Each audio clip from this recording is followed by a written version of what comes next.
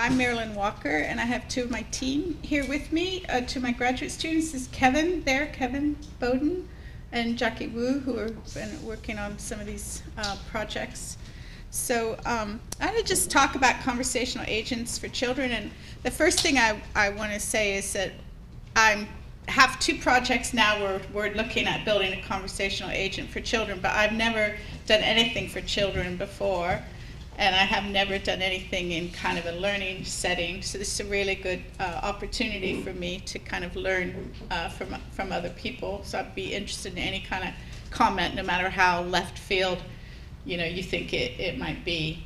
We have one project funded by National Science Foundation in Cyber Learning Program, and this project is it's a dialogue agents for listening comprehension, and the idea is to engage a child uh, socially in a, in, in a dialogue system to help improve their social inter, uh, verbal interaction skills and their and their listening comprehension.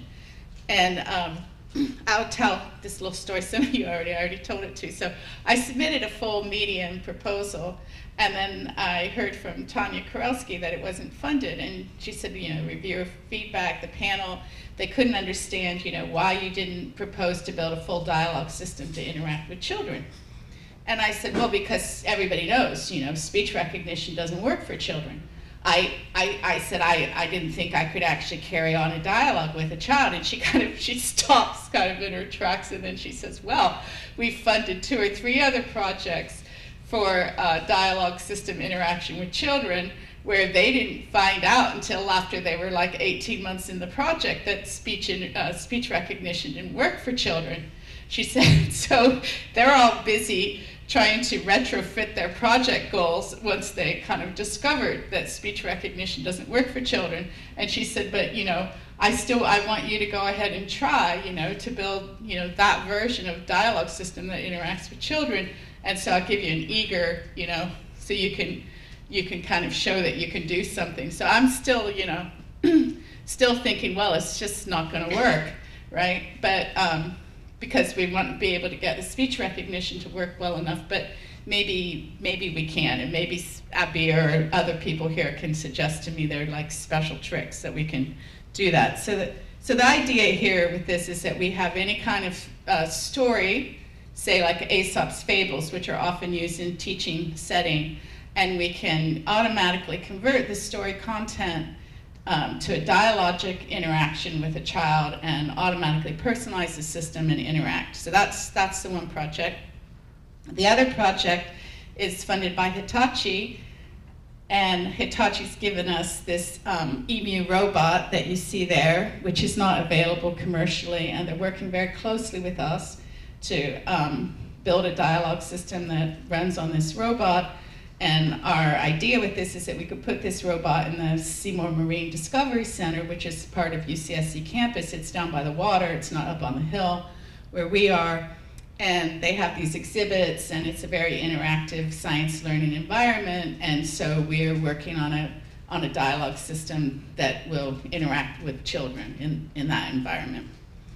And kind of parallel to this, I have a team just generally working on, we've been funded under the Amazon Alexa Prize, and Jackie and Kevin were kind of, Kevin was our team leader, and Jackie's like our kind of key systems level programmer, actually in her, one of her roles on that project, uh, couldn't get along without her kind of thing. And then, but then she's also uh, obviously contributing a lot to the, to the research side on that.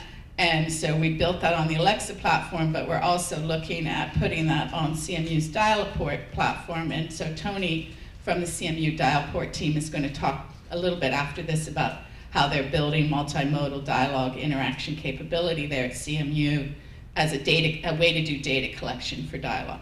What do we need to create conversational learning agents for children? Basically, we kind of need a whole bunch of magic you know, some kind of conversational fairy dust to kind of pull all this technology together and actually really make, you know, interesting systems. And I'm, I think it's a really um, challenging problem. Um, there's so many outstanding issues just for dialogue systems, I think, in general. Like Chad said, you kind of get the impression that you've got Alexa in your house, and that you know that this technology is just around the corner.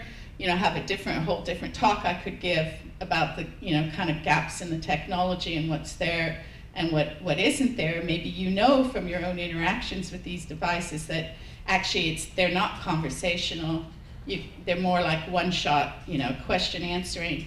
The issues that I'm kind of really interested with don't even kind of come up so much in the Alexa environment because I'm interested in the ongoing conversation over an extended period of time.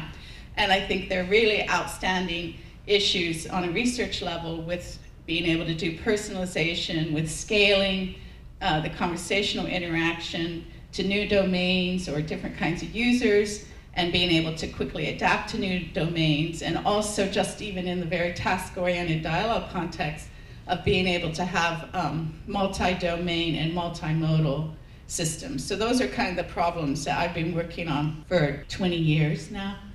So part of my perspective, and this kind of comes from like my the work that I did at AT&T Labs between say 1997 and 2003, we had uh, we had really good speech recognition and we had really good text to speech and we had these data driven systems for training the speech recognizer and also for the text to speech engine.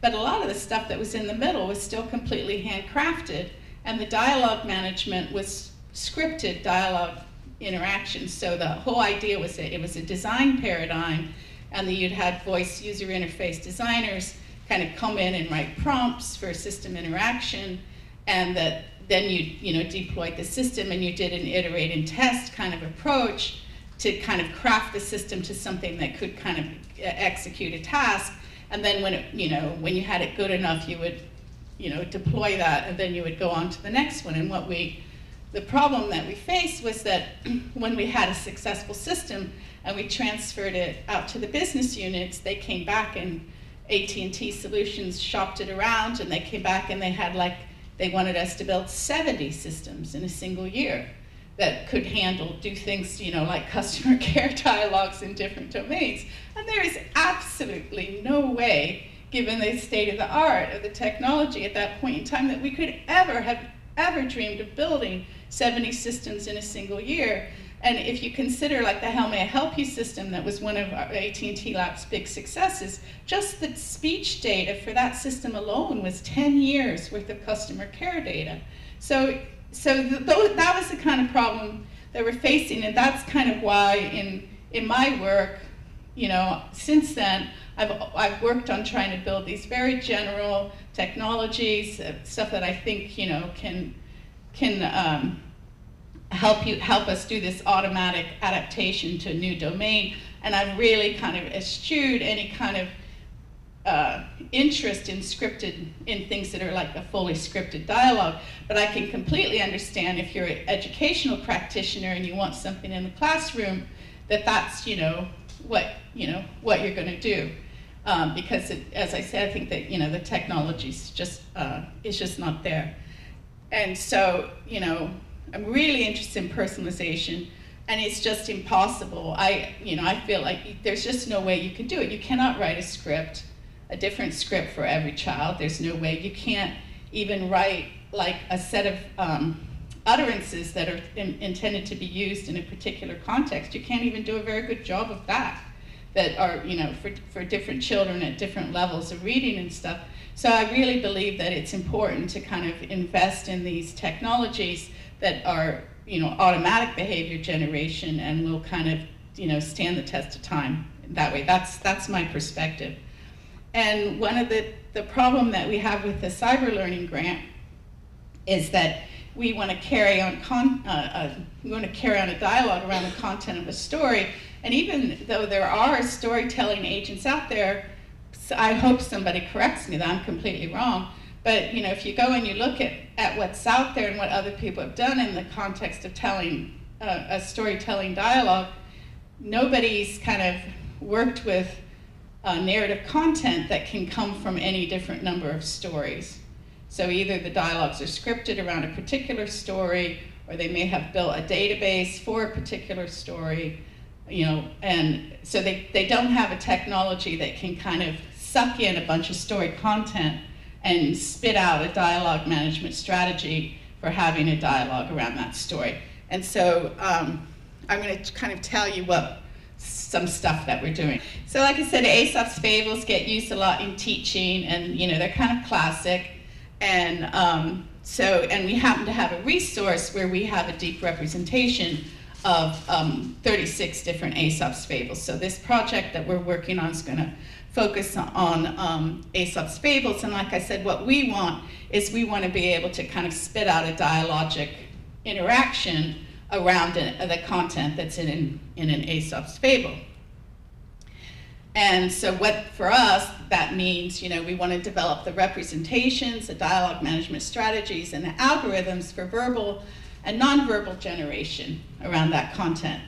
And we want to, you know, structure conversations around the content of the story. And we're interested both in the fact that we have these deep representations, and then we kind of want to know, well, what could we do with good natural language processing if we, if we didn't have the deep representations, if we only just had the, the text of the story. And we're, we're trying to figure out, we're working with um, Emily Solari, Solari, who's at UC Davis, who works on reading comprehension. We're working on developing dialogue strategies that um, support interaction that are, that's aimed at learning. And you all know a whole lot about this, so I'm sure you can tell me, you know, everything we're missing so far. So we have this corpus of story intention graphs for Aesop's fables. I'm going to show you an example of what one of these looks like, but you will not be tested on it later. Um, it's you know a very deep representation of the story content. And we also have this other corpus that we created in the lab that we that's called Persona Bank, where we thought that this story intention graph representation is so cool that we uh, annotated ourselves. We used the story intention graph annotation tool to ourselves annotate some more informal stories from personal blogs. So we have stories about, you know, me and my kids went out looking for frog spawn, and you know, we found, you know, frog spawn, and this is, you know, we took the spawn home, and then, you know, so we have all these little informal stories that people post on places like LiveJournal. We, so we have those represented also uh, with this story content. And then we have, um, we have human-generated dialogues from these stories as that are meant to be kind of exemplars of the dialogues that we would like to be able to generate automatically. And, um, and that's, that's another corpus that you can get off of our, off of our page. I'm going to tell you a little bit more about this stuff.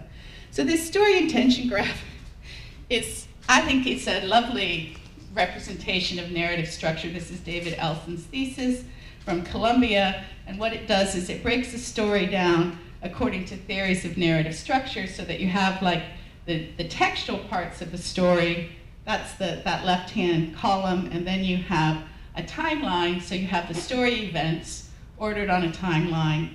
Then you have this kind of in, this interpretive layer where you kind of have inferences, deep inferences about the narrative content are represented like why did the fox do that? What's the fox's goal? Is the fox being honest with the crow?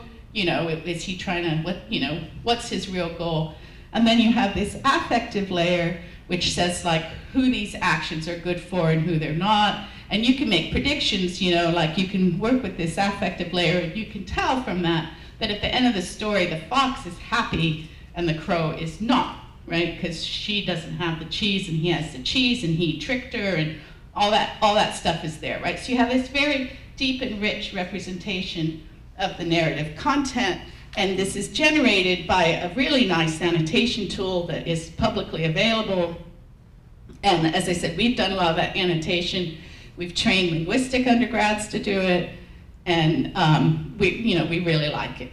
Okay, so we have that. And then we have this corpus of gesture annotated stories. So this is work that we did with Michael Neff at UC Davis um, who has human body animation, and he has a, he has a framework where he has 270 gestures, and those gestures are parameterizable so that each gesture can be performed um, according to different parameters. So like a hand gesture, you have control of parameters like how far the fingers are splayed, um, which direction the hand's going in, a bunch of stuff like that for arm gestures, you know, you might have an arm gesture that's like a sweep like this, and you have control over the hand position while the gesture's going on, the gesture extent, the gesture speed, the gesture jerkiness. You know, there's a whole bunch of you know, parameterizations on that gesture.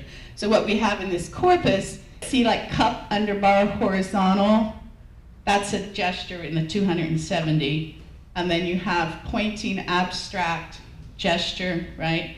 So those are gestures from this 270 gesture inventory, and they're time aligned on the, on the storytelling. And then we can render those gestures in different ways by controlling these parameters. And that's Chao's um, thesis work, Chao Hu, um, who's almost, she's almost finished, right? So given, we have those resources, those data resources, we have software uh, for expressive personality generation for both verbal and nonverbal behaviors based on those kind of deep representations. And we have software for converting monologic storytellings to first-person dialogic tellings of stories. That was Kevin's first project in my lab when he was still an undergrad. And um, what we observe is that most stories that we'll be interested in for a learning context can be converted um, to dialogue with a narrator, you have to have a narrator agent, and then you have some stuff for the characters. And right now, what we think for engagement with a child, we think the most important thing is that the narrator agent be childlike and that we be able to do some matching, say, with ethnicity and gender. And we think we might be able to get away with having the characters just be kind of simple 2D kind of animations and not like, we're not trying to make a movie we don't, we know we can't make a movie automatically. So we're gonna, you know, what we wanna do is animate the telling, but mostly through the narrator character with the, um, with the story characters actually kind of more, some kind of more simple animation. So that's kind of where we are with that. We have a lot of dialogue management strategies that we propose. So among the things that we can do with our natural language generation engine is that if we detect uh, for example, direct speech, the original story says, and then the fox said he wanted her to sing, right? We have automatic um, algorithms for converting that into a script that says, you know, the fox said, uh, uh, you know, would you please sing for me, right? So we can convert, you know, we have the deep representation of the utterance and we can convert it to a direct speech realization. And then we can have the fox actually speak it right? So instead of having the narrator say that the fox said that, you know, actually have the fox speak it. And that's Stephanie Lukin's dissertation, and she's at the Army Research Lab now. And so that that was, you know, so we have all, we have a lot of stuff. We've been working a lot of stuff in this in this narrative um, space. But like I said, we hadn't quite fully taken it to like dialogue with a with a child because we didn't think the speech recognition would work. Um, and a lot of the work that we've done has been based on this idea that what you really need is for the language generation, you need uh, something that's very adaptable to the child, right? And so language generation is interesting because there has not been a lot of work on it for the last like 15 years. And part of it was because I think people realized around early 2000 that the speech recognition wasn't good enough to support a dialogue interaction, and a lot of the focus in the field went to improving speech recognition, and language generation has only just come up then, like raised its head again in the last three years, when um, people realized, well, you know, if you're going to carry on a dialogue, you don't just have to understand what the person said, you actually have to be able to say something back. And, you know, you might have to carry on an extended conversation, and so that we need some kind of mechanism for for doing language generation. But in the meantime, we, we continued working on language generation. Um, and so we've done all this work using Big Five theory personality uh, because that's meant to capture a lot of individual differences. And that, um, the idea that we could kind of express, we could automatically generate language expressing uh, personality led us to develop this architecture for natural language generator where again we have control of all these parameters that affect how things get said. So not so at the at the gesture level we have control of parameters that that um, affect how a gesture gets rendered, and at the speech level we have control of parameters that affect how a particular content gets set, you know, with all these different um, kinds of parameters. So we can control, you know, the verbosity, the syntactic complexity, whether how a certain contrast relation is realized, whether you use kind of different kinds of social language, whether you use simple words or complex words.